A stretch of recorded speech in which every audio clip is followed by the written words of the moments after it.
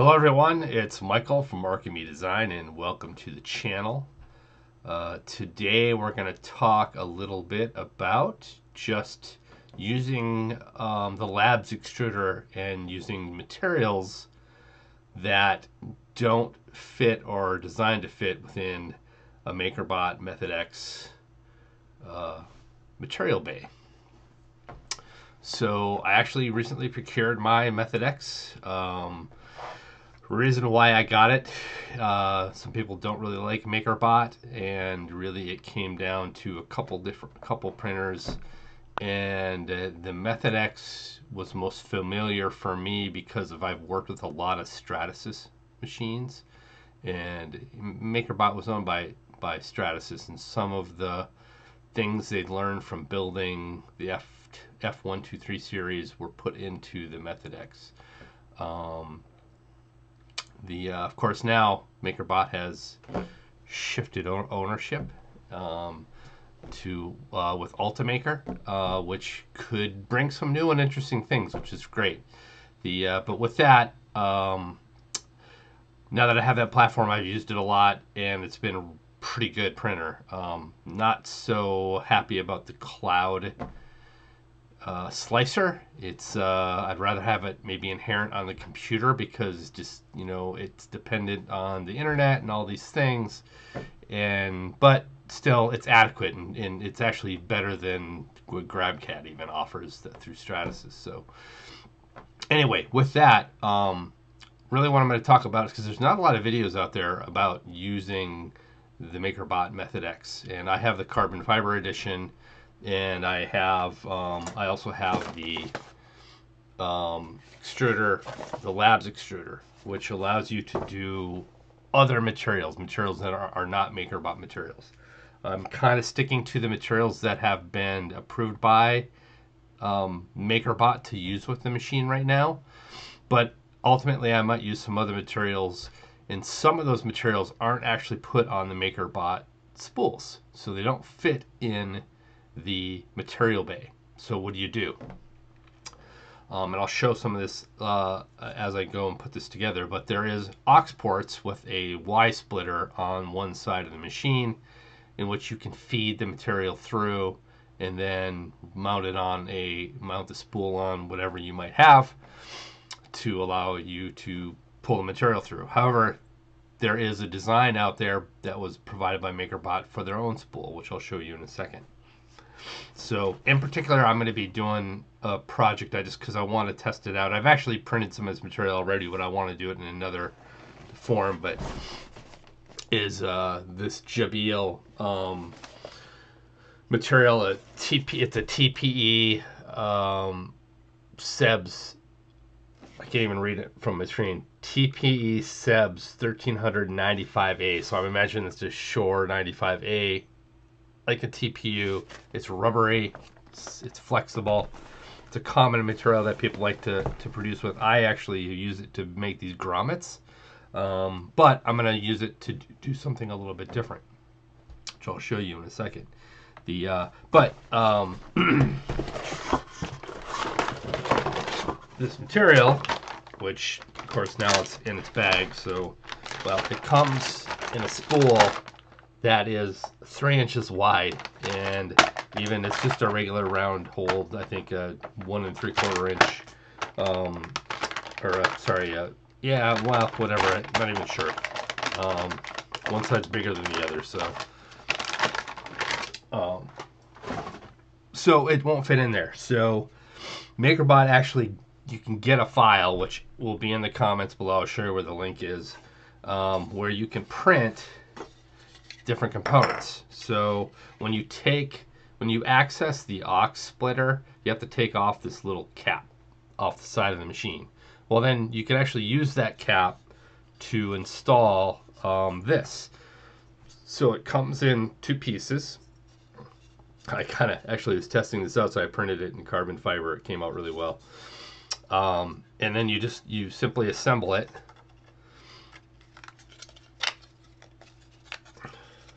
I disassembled it just to show this, but it gets snapped together. So now you have this on the back, and this will actually hang where that cover came off of. And then there's three different sizes of this for the spools. This one's a three inch one, it'll fit that. I think there's four and two inch as well. And that just fits in and and you end up having this nice little hanger that hangs on the side of the machine. Works really great. So we'll show how that's done. there is a little hole here you can see um, and that is for feeding this screw. It's a little piece of uh, tubing that filament goes through. When you get a labs extruder, this comes with the labs extruder. And that actually then, you actually need to kind of bend it a little bit, but that then feeds through that hole like that. So when you mount this, you can feed that right into the splitter. So um, you need to manually feed it through. You can't, it, it's not going to grab it. So you got to feed it through. They recommend you feed it through. and you actually take the, the guide uh, clip out of the extruder to get it through and you can see it and then push it into the nozzle and it'll start to pull and then close it and it's good to go. So, um, so that's what we're to do. Uh, let me quick show you the part we're to do. Uh, it kind of looks like an automotive part, but um, and it's really small because I don't want to waste a bunch of material on it, but I'll show you what we're to do. So yeah, this is uh, what we're going to do. Um, basically, uh, it kind of looks like, you know, might be part of a cold air intake or something to a car uh, part or something of that nature. So you have a top part that's kind of accordioned so it can be moved and two different size openings. I just modeled this just as a gag kind of thing, but uh, just have it to show off the material types. Um, this is actually pretty small. It's not really much bigger than, than that. Uh, it's only like one inch by one and three quarter inches on the base, so won't take too long to print. And I designed it so that all the edges are 45 degrees. Nothing is, you know, more than than 45 degrees uh, overhang, um, and even the little edges here where you would like put a clamp, adjustable clamp in here. Those are just 45 degrees too, so it won't really require any use of support material. And speaking of support material, I'm working on a project regarding support material, and uh, hopefully some, many of you, those who use, you know, PVA or SR30 or or Rapid Rinse, um, you know, whether it's on the MakerBot platforms or some other platform um, that's coming in the future. Anyway, so let's uh, show you me loading up the printer and um, getting the print started. So here's the MakerBot Method X.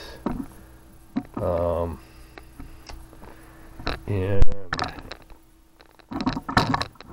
what we're looking for is right here. Lift up on the bottom and this comes off. Get you a closer look at that.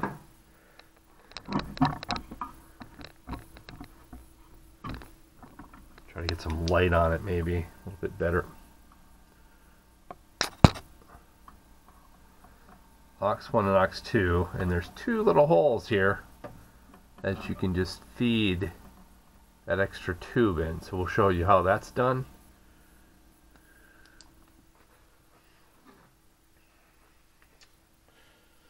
So I've assembled this and Aux1 is your material, Aux2 is your support. I don't know any of any, I mean I guess you could use us other people's PVA and stuff to put in there, but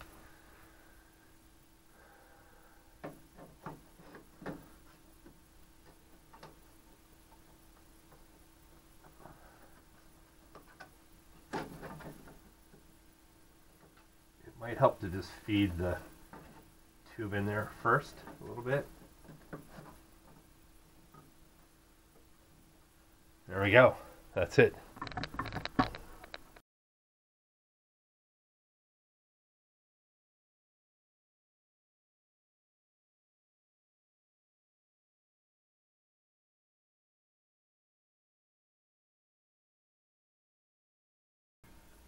It just hangs right there on the edge.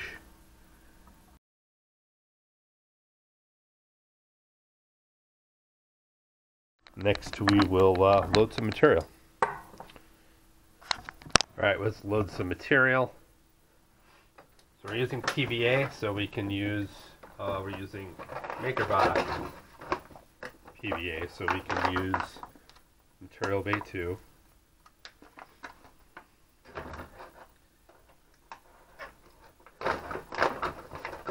I'm a big fan of using mylar, mylar bags, I'm glad this material comes like this.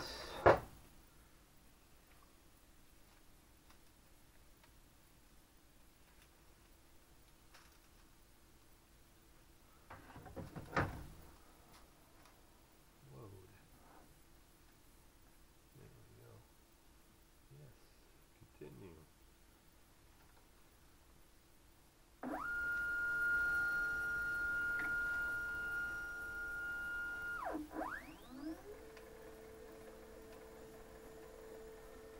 There we go.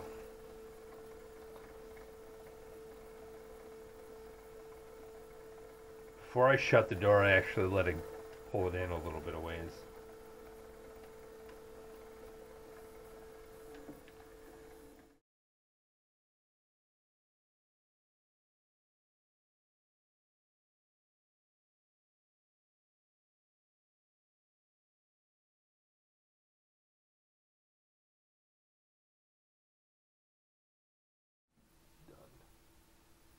All right, PVA is loaded. Now we're gonna do TPE.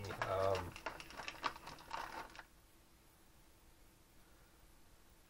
okay, so here's the spool. Lots of material. Um, put it on with coming down and towards you. I cut off a little bit of material off the end as they always recommend you do. Now, since it's out here, it's not detecting it, and it's over in that screen. It says no, nothing detected. So what we're going to have to do is feed it up through here, and I'm just going to do that for now, just to kind of get it started. But I want to. Um, there's a Y splitter in here, which allows you to push it through. I want to look at the screen. What's going to happen on the screen?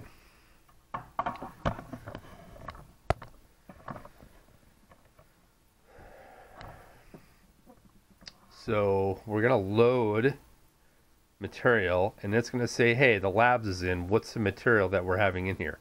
Now, like I said, showed earlier, PETG is what we selected on the print to do on the print, but here we're actually just gonna put in unknown. So as it will usually do, remove any bent material, continue unknown detected. So we're going to end up pushing it through. So what they recommend doing here is, and I saw this, it, they recommend doing this also with carbon fiber specifically, is pulling this off and getting it so you can see the material sticking out. Let's see if I can't get a shot of that here. My camera is not quite tall enough right now. So I'm going to just that. Oops, I'm going to bring that over here so you can see it. And I'm going to feed the material through. See it's coming. Maybe. So there it is right there. And all I'm going to do is just stick that down in there and you'll start to hear it pull it. You can just attach that. And now it's just saying, okay, it's feeding in there and confirm confirm whether it's extruding or not. So we're going to wait for it to run a little bit of material. There we go. Confirm. Alright, so as it was going, I just kind of lightly was pushing in on that to make sure it was feeding okay.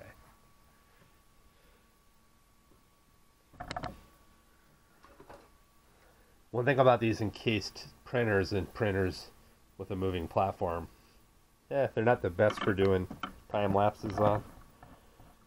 Hard to get the camera close, reflection, things you gotta deal with, but they come out alright.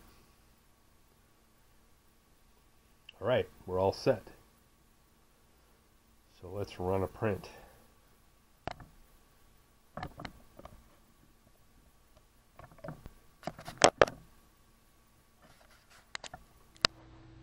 So we laid out the model in Cloud Print and this is basically what it's going to do.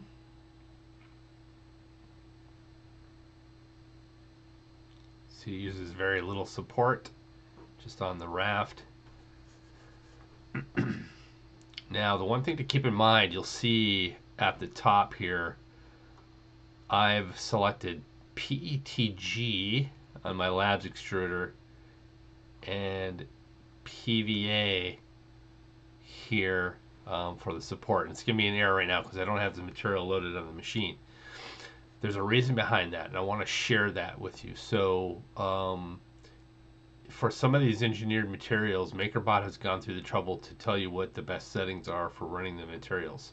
So, in a link below in the comments, I'll leave a link to this, but there's a PDF that um, shows MakerBot Labs custom material profiles. So, we have different um, brands of materials that MakerBot has approved for use in the lab's extruder, and they say, hey, if you're going to do Jabil, PETG, ESD, here's the recommended settings. And for what I'm going to do, the, the SEBS 95A, they say use the model as PETG, support as PVA, use these settings. And as you go down, there's different settings for different types of um, ma materials that are provided by other manufacturers. So I'll leave a link to this down below.